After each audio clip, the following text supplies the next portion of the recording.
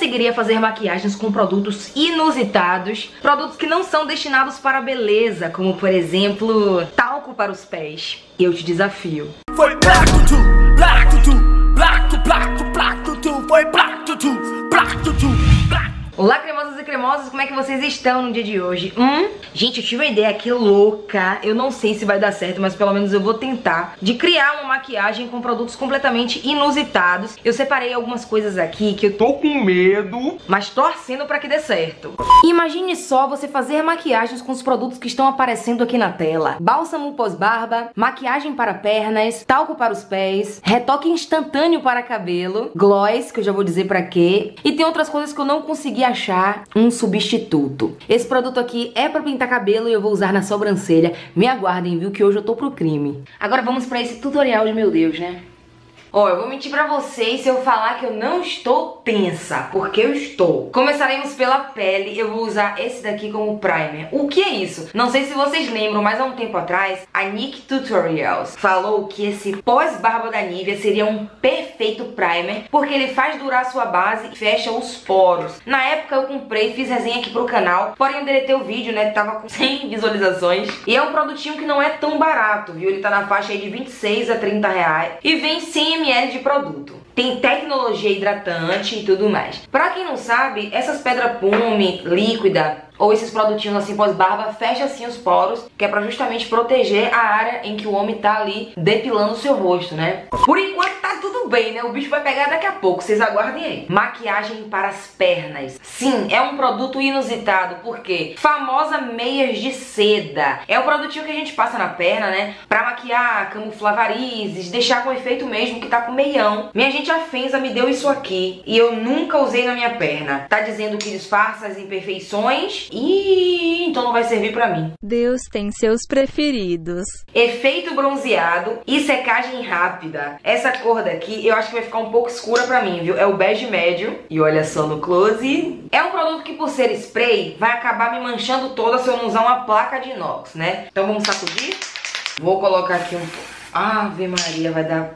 Vai dar B.O. Pressentindo isso. Ó a cor, gente, super nada a ver comigo, mas é isso aí. É bem líquido, ó, tá derretendo já. Tchan, tchan, tchan. Tô nervosa.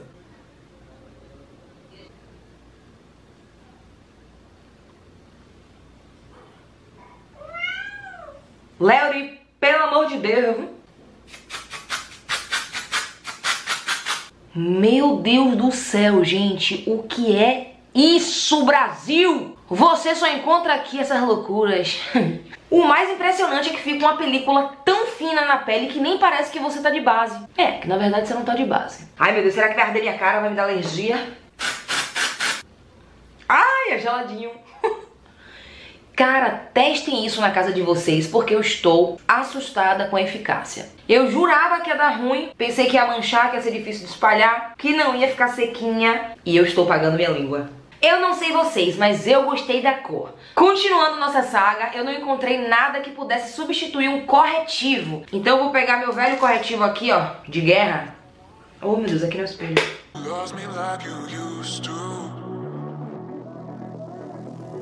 Some days I'm not myself.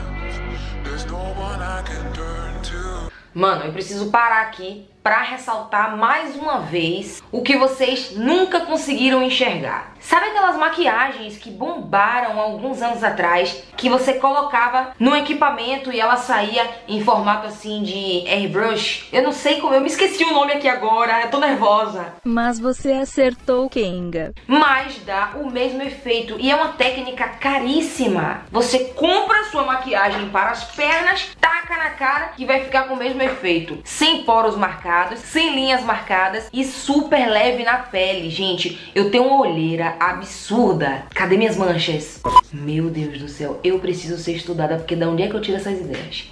Não acabou por aí não, viu? Eu tava no mercado comprando ovo, aí eu pensei, quer que eu posso comprar pra me maquiar um produto inusitado? Já sei, talco para os pés. Exatamente, comprei esse daqui baratinho. Lá no Bom Preço não tava tão barato, foi 6 reais, que eu tenho certeza que isso aqui vale mais barato. Barla, um produto leite de rosas. Cheiroso, viu? Gostei. Eu vou botar ele aqui, ó, pra gente trabalhar como pó translúcido.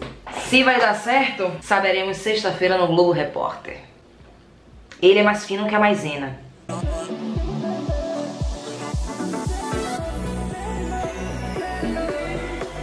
Que, eu tava pensando aqui? Por ser um produto antitranspirante, né, para seu pé não ficar com chulé, será que ele evita a oleosidade na pele, fazendo a sua base durar mais? Tô tirando aqui o excesso, porque é nessa parte que a gente vê se presta ou não. Tem pó que marca, né? Você tenta remover e não consegue. O talco de chulé não tá fazendo isso acontecer, ó. Tô removendo. Gente, que absurdo! Como é que eu não pensei nisso antes? Eu gastando 20, 25 reais com pó translúcido.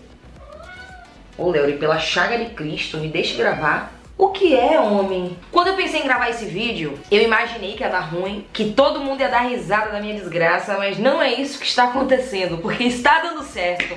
Eu tô passando aqui um contorno, eu ia colocar canela em pó, mas eu não tenho. Meu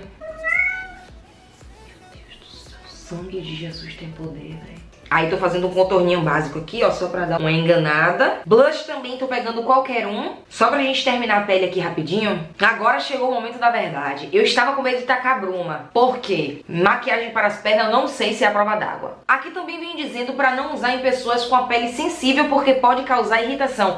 A minha pele é super sensível, pra quem não sabe, eu tenho até alergia à maquiagem. E se não deu ruim em mim, meu amor, com certeza...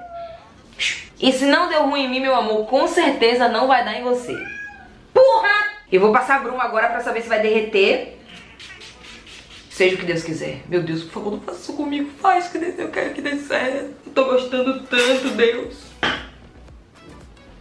Ficou. Mas eu tenho a sensação que se eu colocasse um pouco mais de bruma, iria derreter. A pele tá bonita, viu? Cheia de talco de chulé.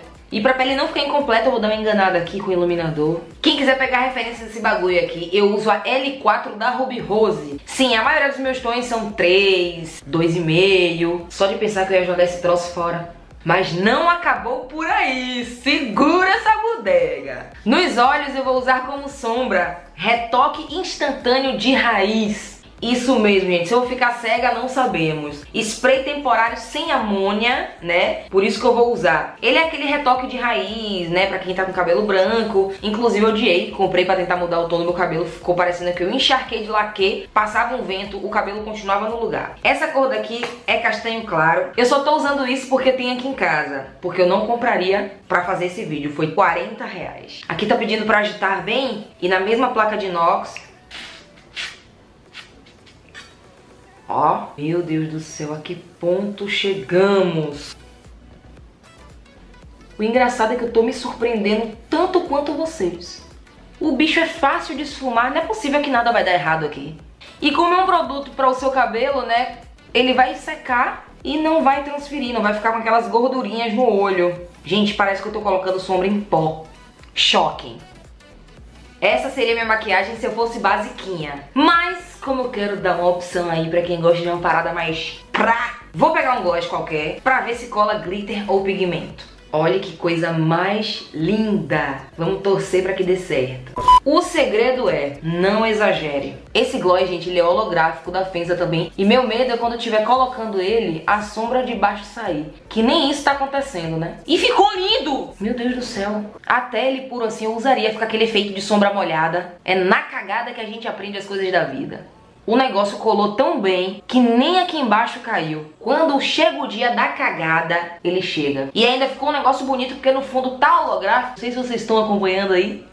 Sério, eu vou jogar na loteria porque com certeza eu vou ganhar. Gente, eu tô chocada. Vocês têm noção da revolução que vai causar isso aqui? Principalmente essa maquiagem pras pernas, que na época a Feza me mandou todas as cores. Tipo, tinha bem claro, médio e mais escuro. E eu fiquei só com esse porque os outros eu cheguei a dar. Se eu soubesse que isso aqui seria uma base de cobertura média, sensação de não ter nada na cara e não marcar poros nem linhas expressões, eu jamais teria dado. Vejam aí de perto esse drama. Essa parte minha aqui fica cheia de poro aberto. Deus realmente tem seus preferidos. Vamos dar continuidade. O produtinho de boca que eu vou usar é da Avon. Não é inusitado, mas é um produto, digamos, diferenciado, né? É um pó para lábios da cor rosa. Não vai ficar muito boa essa junção, mas é isso que nós temos pra hoje. Batom em pó da Avon. Ele é um tom de rosa bem cheguei. Ai, meu Deus, como é que eu uso isso aqui? Eu quebrei o negócio. Não era puxando, era rodando. Eu puxei e quebrei. Vou tentar fazer uma cirurgia aqui. Uh! Peguei. Ah, não gostei disso não, muito frágil, que nada. Imagina se eu tivesse comprado.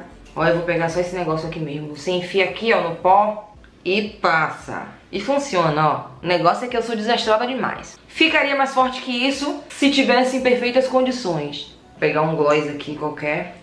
Na minha sobrancelha eu vou usar essa tinta em pó da Embeleze, que ela é com extrato de pitaia, fórmula vegana e tal. Eles mandaram pra mim. Como vocês sabem, eu uso isso aqui, ó, pra pintar minhas sobrancelhas e ficar com efeito de rena, né? Eu sempre compartilho lá nos meus stories, porém eu não vou mostrar pra vocês aqui no YouTube, eu vou mostrar no meu Instagram, ShakiraBR, vou gravar amanhã e posto o resultado pra vocês, então me segue. Como eu não quero deixar a sobrancelha sem pintar, vou passar aqui rapidinho uma sombra. Será que hoje a dona do close certo vai dar um close pra vocês? É lógico que sim, meu bebê, então segura esse close.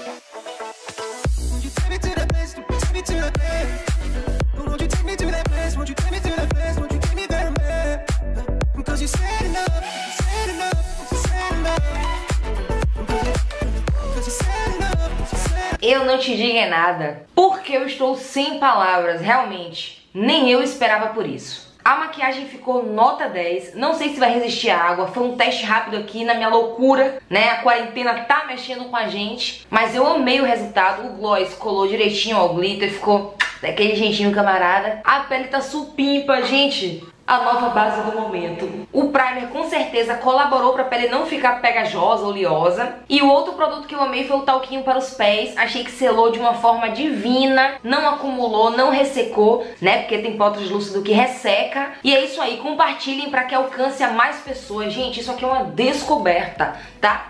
Beijos com abraço e até a próxima!